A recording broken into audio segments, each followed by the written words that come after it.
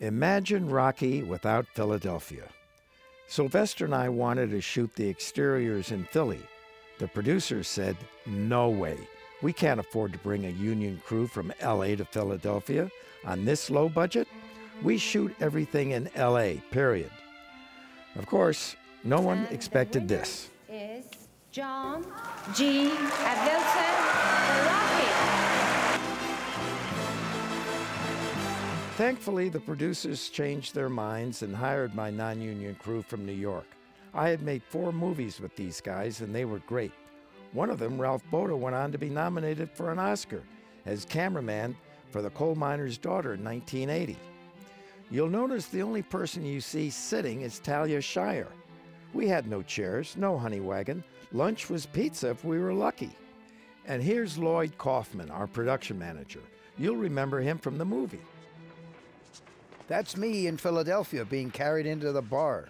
I was drunk because it was cold and I wanted to be in character.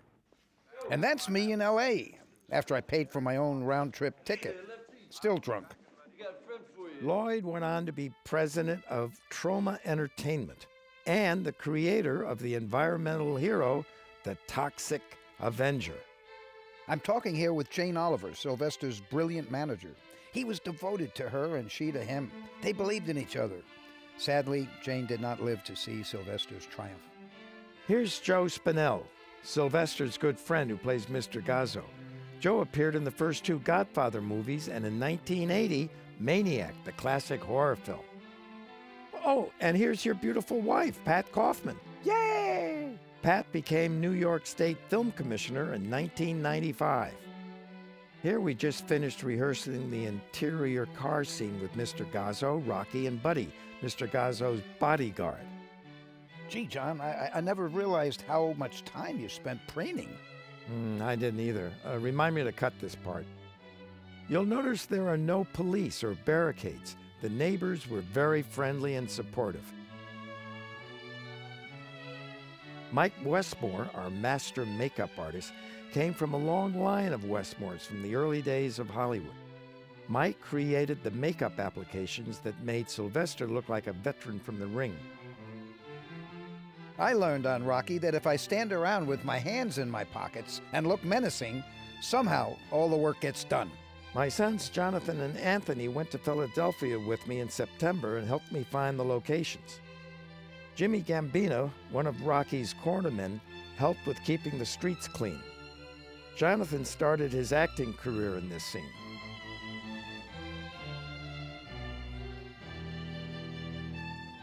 Sylvester was supported every step of the way by his lovely wife, Sasha. Sasha was also our still photographer while we were in Philly and took some great pictures. Rigging the car on our low budget was a challenge. I remembered the first movie I worked on and how the cameraman was lashed to the front of the car. It worked. And it also worked on Rocky. And there was no camera truck pulling our car, and the actor actually did his own driving. You sure don't see that anymore. You only had 130, but I think he's good for the rest next week, Mr. Gazzo. Sure, Rocky. Bob's good for it. That's it for today. Did you get the license number? Of what? The truck that run over your face. Our first night shoot was in front of 1818 Tusculum, where Rocky lived. Burgess Meredith was nominated for playing Mickey, Rocky's trainer. We were so lucky to have Burgess.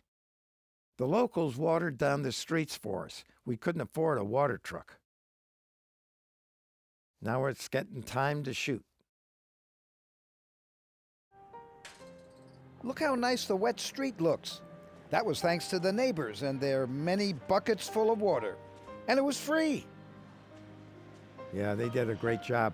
I remember when Sylvester first saw this this scene and said, "Boy, weren't we lucky that the elevated train went by?"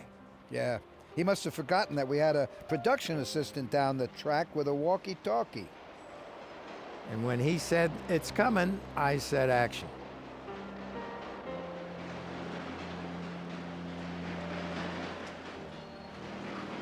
The film cameras were big and heavy in those days, not like the digital cameras of today. We were in front of Mickey's gym rehearsing the next scene. We had to get this shot before lunch.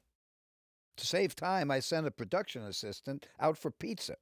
Lunch was always pizza. and As I remember it, dinner was pizza too. I gave Jimmy Gambina a few hints about how to deal with the garbage cans. All our exterior daytime scenes were shot with natural light. We had no crew, time, or money for lights. As long as the sun was up, we were in business. And the sun was free. Yes, you can't beat that. And now we were ready to go.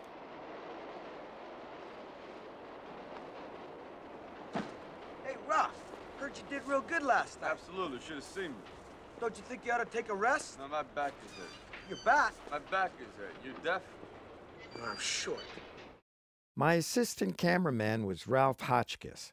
Ralph introduced me to Garrett Brown, the man who invented the Steadicam, though at the time it didn't even have a name. Without Garrett, we couldn't have gotten some of our best shots. Rocky was the second movie ever to use the Steadicam. The first one was Bound for Glory the year before. When I saw Garrett's sample reel, he had a shot of his wife, Ellen, running up the stairs of the art museum. I said, I know just where that's going to go.